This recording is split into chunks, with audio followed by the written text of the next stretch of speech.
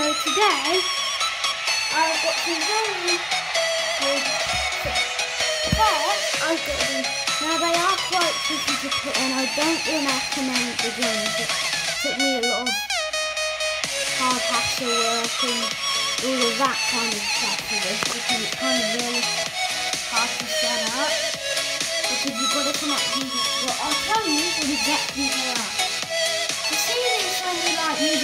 Controller and then you uh kind of like do that and the train just stops. Guys, welcome back to ZT Train. So I hope you like our new intro. Now it's being custom made by me.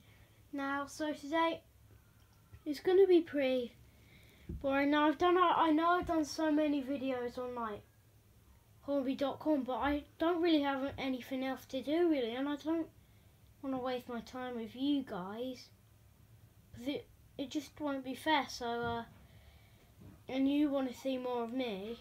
So I hope you also seen that Hornby Collective Club video. That's by Thomas. So let's get started. Okay, guys. So we're on Hornby.com. All right. So let's just. Oh, this looks nice. A Hornby Zero Garage Yellow Thumb. And it's only £129. That is just ridiculous. Honestly, for a good train like that. Um, hang on. So you can buy all the whole set, but it looks like a lot of money. If you can see down, let me just uh, zoom down. Can I zoom down, please? Okay, look, look, one thousand seven hundred and ninety-five pounds. That's just ridiculous. Okay, so, um, hang on, hang on. Look at this, a Great Western Railway, and it's only £92. I think that's the best offer I've ever seen. And it's full star rated as well, if you can see it. Let's zoom out and see. Um, hang on. Oh, look, we've got a pre order. We have got this. Honestly, I recommend this. Look at this. And it's only £67. How ridiculous.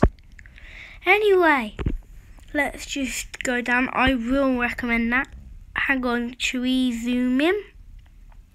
You can get all of that and a lot of track, but can we just go down a little? Yeah, 1,340 five pound. Now it's getting a lot of money. These stuff are, I guess. I guess if you're like proper Hornby collectors, then it's probably working. Oh, look at that! How cool is that? Yeah, I would recommend it, but it is three hundred and seventy-one pounds. That's a little bit of money, you know. So um, let's come down. We've got an Avanti West Coast, one of the new ones. Wow, 224. That's good for the price, actually. It's probably going to be one of the good working ones. So, let's see. Wow. Only for £62. Recommended, recommended, recommended. You, if you're a beginner watching this, you should buy that. Um,